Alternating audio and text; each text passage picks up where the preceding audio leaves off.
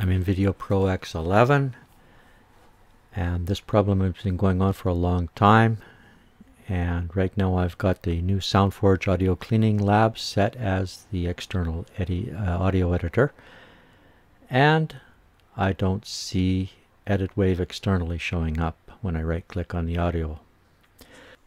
I'll change this to Music Editor 3 that comes with VPX11, right click and no edit wave externally. This time I'll change it to Audio and Music Lab Premium, version 22. And right clicking on the audio part, oh, there it is, edit wave externally. That's how it's supposed to be done. It should show up like that for everything. Let's try it out right click, edit wave externally, and it does a mix down of just that file, creates a wave file, opens up Audio and Music Lab Premium, or whatever audio is supposed to be selected.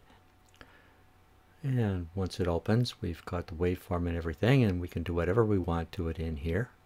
I'll just go into the mastering and give it some reverb, just so that something is different. And now I'll exit this and save. And what it does is it modifies that WAV file, goes back to the timeline and updates the file on the timeline. That's how it's supposed to work. I'll do one more test with Samplitude Pro X3 Suite. And the same thing, it doesn't show up.